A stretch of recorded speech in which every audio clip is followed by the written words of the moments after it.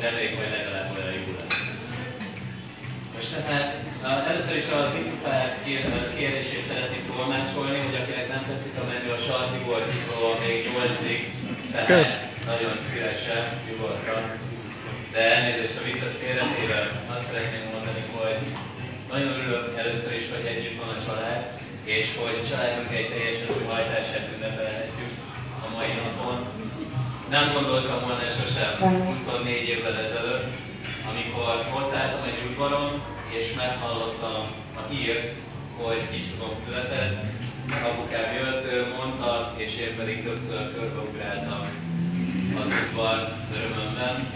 Pár nappal később megláttam a csöpséget, és arról azt tudni kell, hogy én nem nagyon szeretem a kisbabákat. Kicsi, ráncosok, nagyobb fejűk és állandóan ordítanak. És te drága húgom, te sem voltál kivétel. Viszont amikor a csöpp ujjaiddal először megfogtad az én ujjamat, akkor tudtam, hogy nekem bárként téged mindig szeretnek és védelem Aztán felcsöperedtél egy kicsit jobban, és több dolgot megtanultam tőle. Az egyik az, amikor egymás mellett aludtunk, két matracon, akkor te mindig aludni akartál, én pedig olvasni, és úgy kellett állítanom a lámpát, hogy te tudjál aludni, ne süssön a szemedbe, én pedig még tudjak olvasni. Megtanultam azt is, hogy a fagyiosztás az igazából háború. és azt is, hogy a vegánság az nem egy étel, hanem egy vallás. Még akkor is, ha szereted a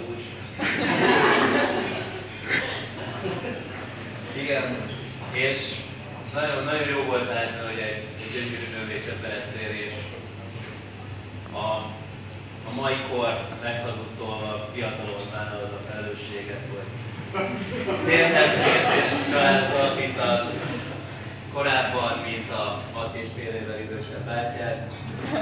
Mondjuk én nem akarok férhez menni, de ez most mindegy is. És együtt ezután megragadnám az alkalmat azt is, hogy Danit köszöntsem a családban, akit megbecsülünk, befogadtunk, mert egy fes, fiatal legény, és hát mert mindenki után kerítést festeni. Na, de még egyszer a viccet félretéve. Szeretettel köszöntünk a családban. És arra kérek minden vendéget, hogy álljatok föl, kérlek. És ígyunk az ifjú pár tiszteletére. Él az pár! Él!